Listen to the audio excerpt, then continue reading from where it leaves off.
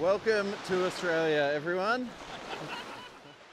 Macquarie Island is part of Australia, but it's over a thousand miles from the mainland and another thousand miles until Antarctica, which makes it one of the most remote places in the world.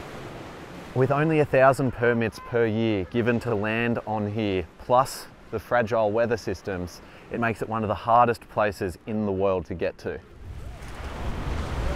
A lot of people who travel with Lindblad and National Geographic are massive birders and they've ticked off a lot of other penguins from their species list. But around the New Zealand and sub-Antarctic, there's over seven species that can only be found in this part of the world. I feel incredibly privileged because I know how few people come here and how few people who attempt to come here actually get to land.